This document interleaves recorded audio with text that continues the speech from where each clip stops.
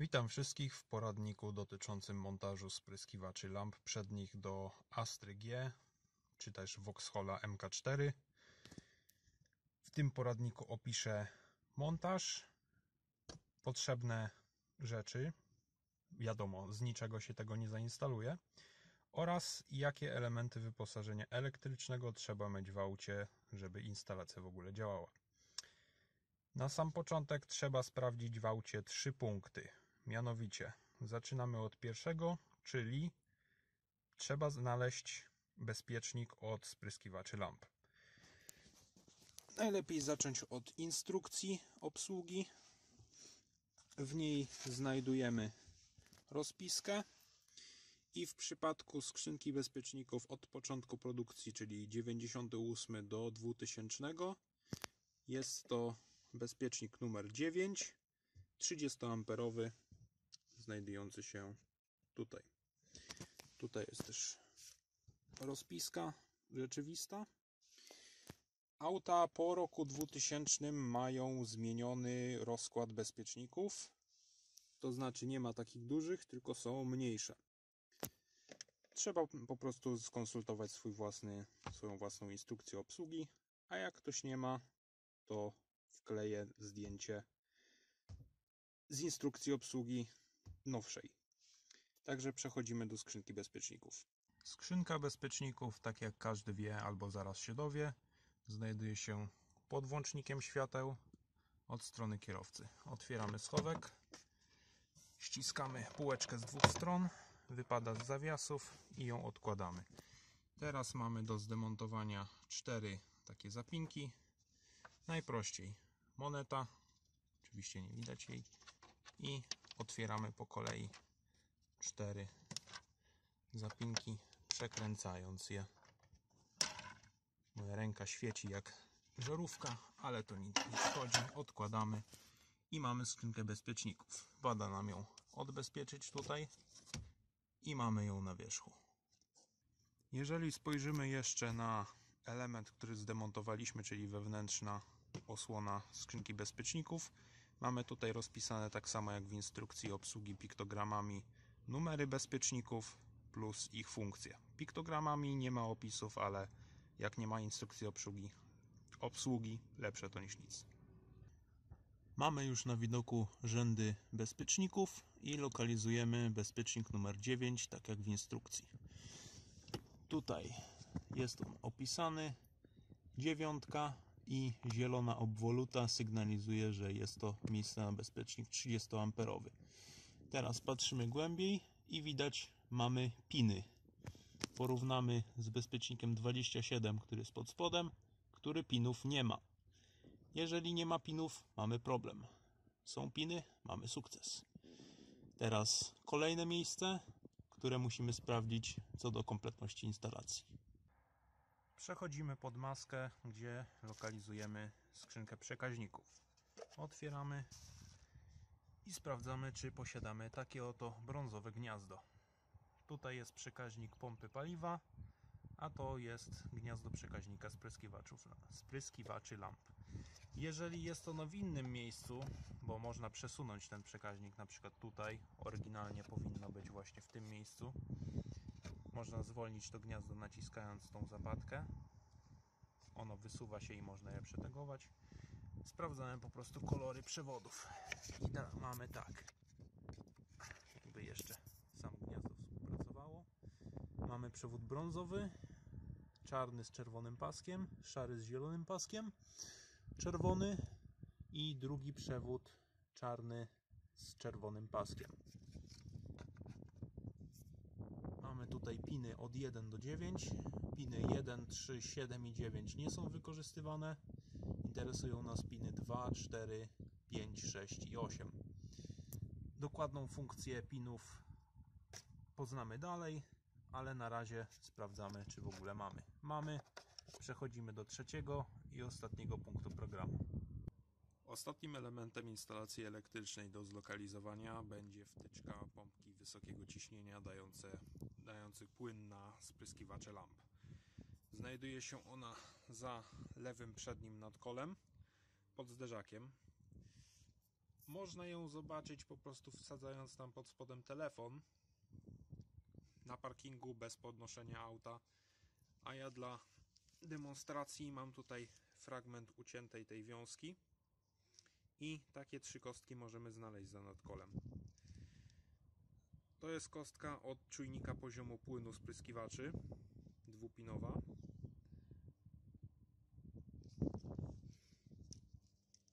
Ta kostka jest to kostka od zwykłej pompki spryskiwaczy, dająca płyn na przednią i tylną szybę. A my poszukujemy tej większej z pomarańczowym wkładem. Kolory przewodów to brązowy i czarno-czerwony. Przewody te są grubsze od tych do mniejszej pompki do czujnika. Wiadomo, 30 A, pompka wysokociśnieniowa. Tak musi być. Jeżeli mamy wszystkie te trzy elementy, możemy przejść do kompletacji części potrzebnych do instalacji.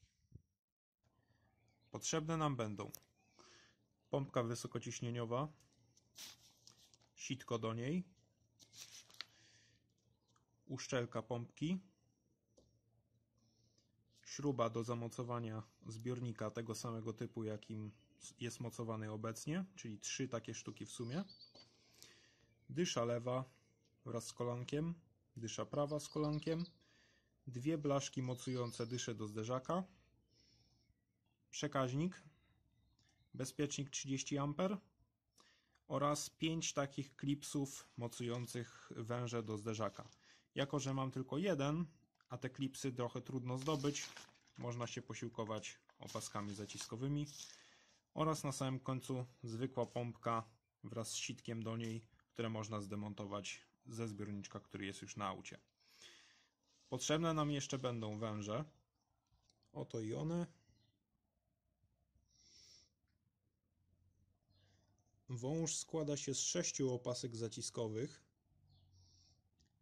trzech szybkozłączek, jednego trójnika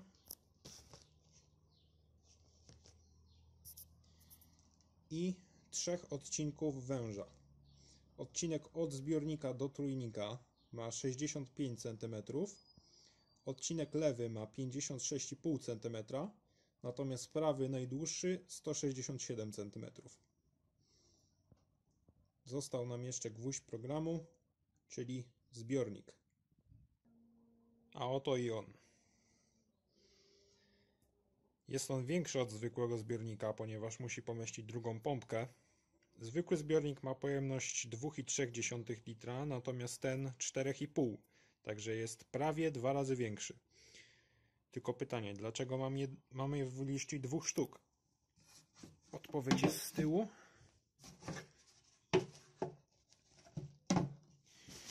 Pomimo, że te zbiorniki mają ten sam numer części, jeden ma otwór na czujnik, a drugi go nie ma. Jeżeli chcemy go wywiercić, otwór ma średnicę około 1,8 cm, a żeby go wypełnić, potrzebny nam jest czujnik.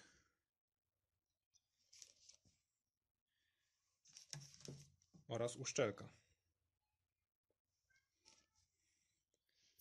Mając skompletowany zestaw z czujnikiem lub bez, możemy zająć się demontażem zderzaka.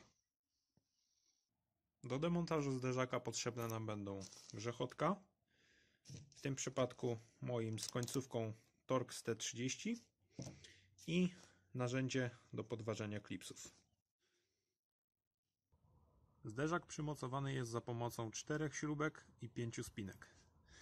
Jedna śrubka jest tutaj, druga ukryta wewnątrz nadkola, to samo z drugiej strony. Pierwsze dwie spinki znajdują się tutaj, pierwsza i druga,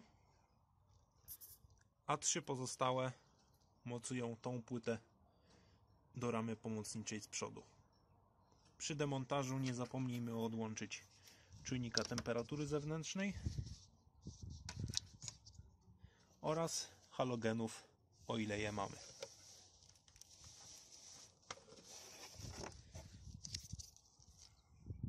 Wtyczkę odłóżmy w bezpieczne miejsce tak aby nie poplątała się i możemy demontować zderzak. Po zdjęciu zderzaka mamy bardzo ładny dostęp do zbiornika.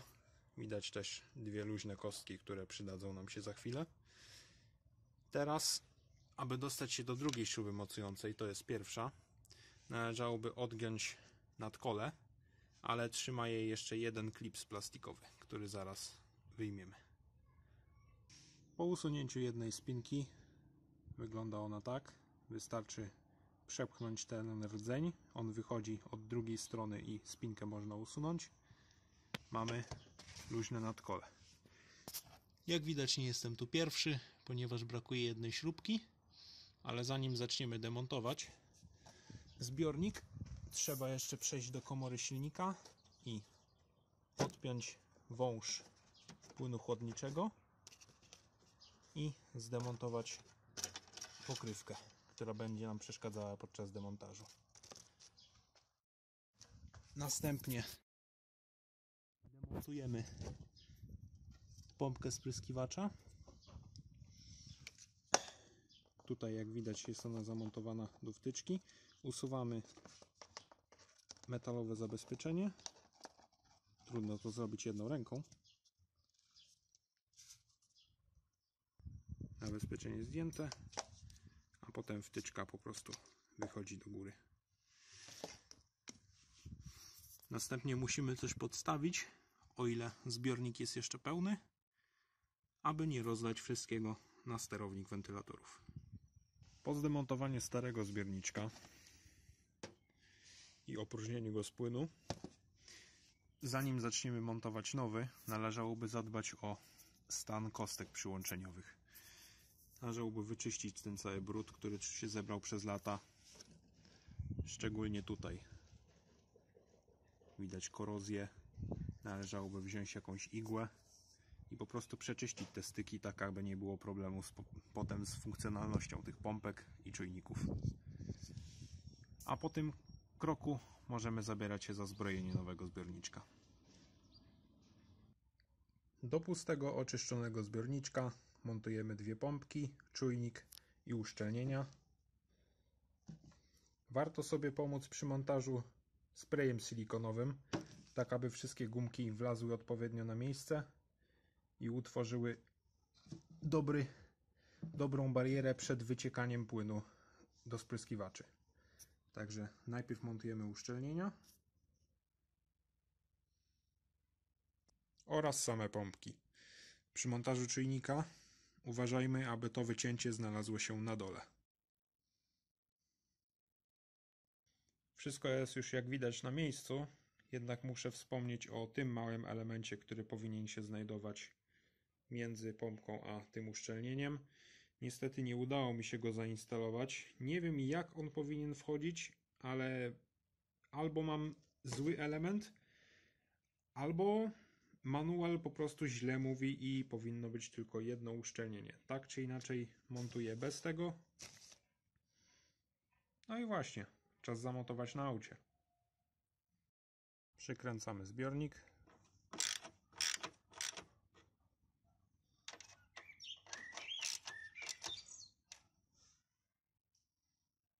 Podpinamy przewody dające płyn na szybę. Tutaj znowu możemy pomóc sobie sprayem silikonowym.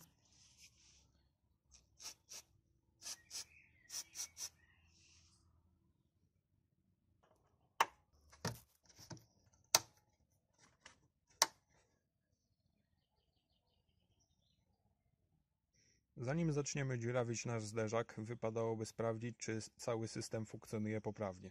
Także wsadzamy bezpiecznik, wsadzamy przekaźnik, podłączamy węże na krótko i testujemy zapłon.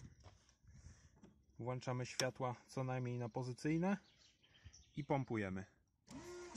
Za pierwszym razem może się nie pojawić płyn, ponieważ układ jest pusty, ale za drugim powinien się pojawić. Jeszcze raz. I proszę bardzo. Zbiornik dla próby napełniłem zwykłą wodą, dlatego że po co marnować płyn do spryskiwaczy. Jeżeli coś by poszło nie tak tak musieliśmy, musielibyśmy go spuszczać. Jeżeli mamy problem, Pierwsze co? Bezpiecznik.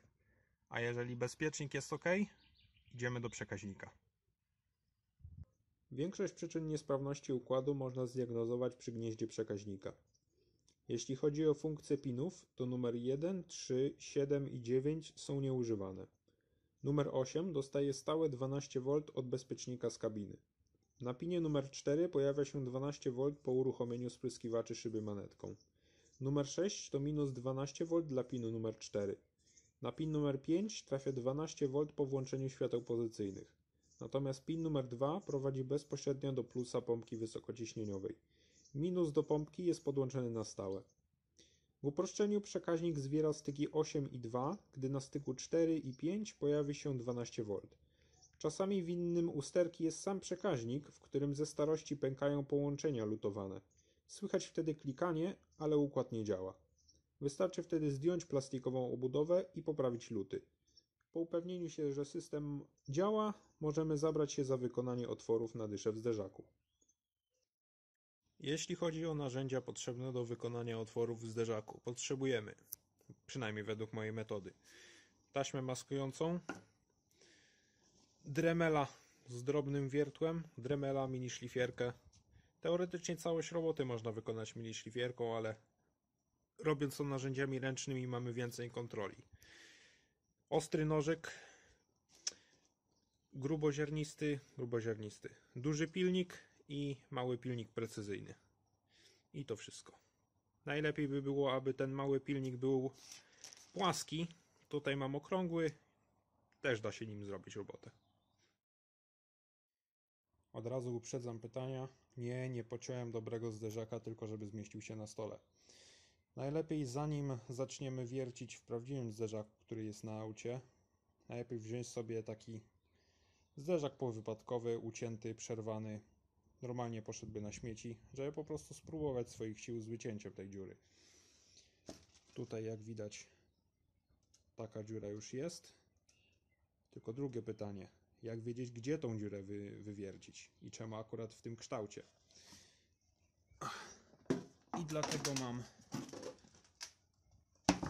drugi kawałek zderzaka, który jeszcze nie ma tej dziury. I należy szukać tutaj, tego miejsca. Jest to zaznaczone w odlewie. Zawsze sobie tłumaczyłem, że jest to w kształcie starego loga Nissana. I po prostu ten kształt w tym dokładnie miejscu należy wyciąć. Na samym początku wykonam na środku tego okręgu otwór wiertłem mini szlifierki, który pozwoli mi z drugiej strony dokładnie nakleić taśmę maskującą. Po wykonaniu pierwszego nawiercenia wiemy już gdzie wypada dziura po drugiej stronie. Dokładnie tutaj. Ten pajączek nie powstał podczas wiercenia, on już był wcześniej. Ten zderzak jest w kiepskim stanie. No, teraz jak już jest w dwóch częściach, to do niczego się nie nadaje. Ale w tym miejscu zaklejamy okolice i przystępujemy do maskowania drugiej części. A dlatego drugiej części? Ponieważ przy wycinaniu ta linia jest bardzo drobna. Gdy wytniemy więcej i więcej, można tą linię zgubić i wyciąć za dużo, krzywo albo bilejak. Dlatego zamaskuję też ten kształt i zobaczymy jak to wyjdzie.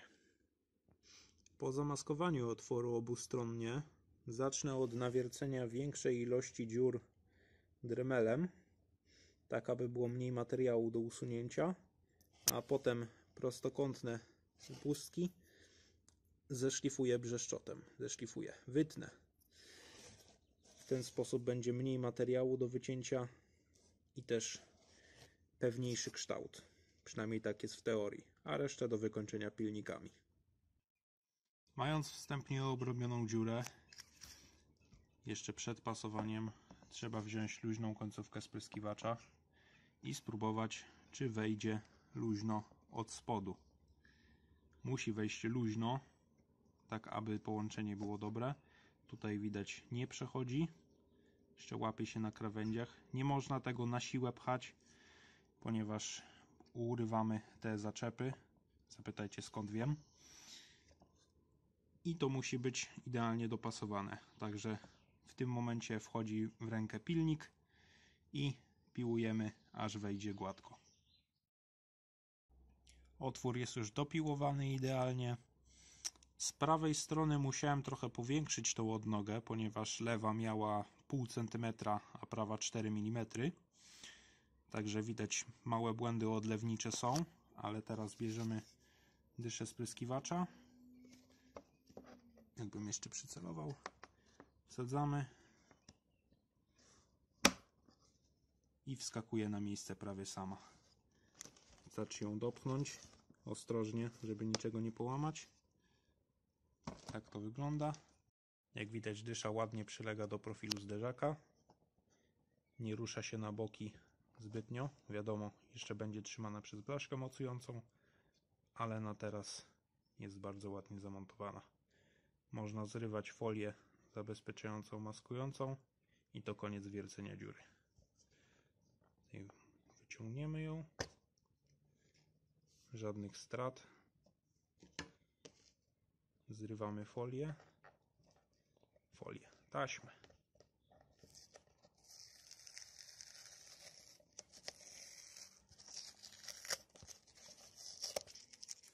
Tutaj dałem drugą warstwę na wszelki wypadek.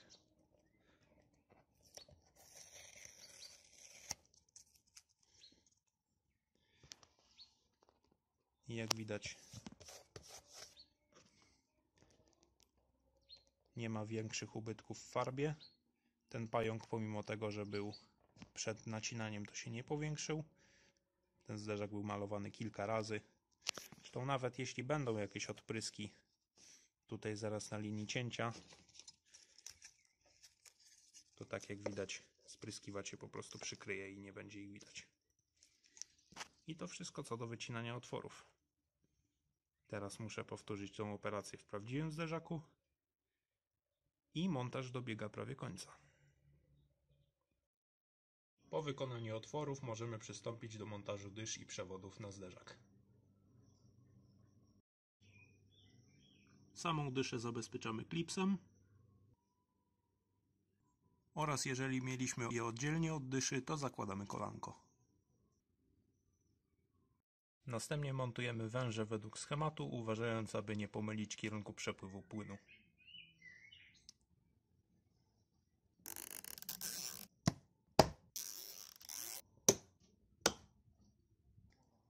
I tak przygotowany zderzak możemy montować na auto.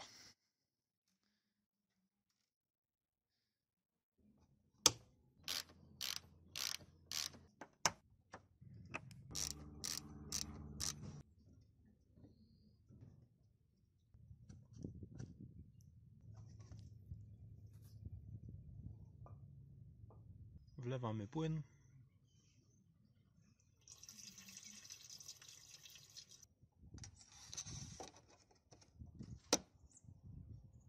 Zamykamy maskę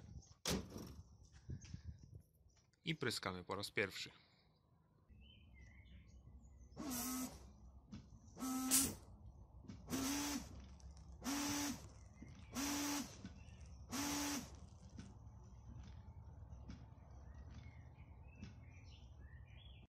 To by było na tyle. Jeżeli macie jakieś pytania, piszcie w komentarzach i do następnego. Hej!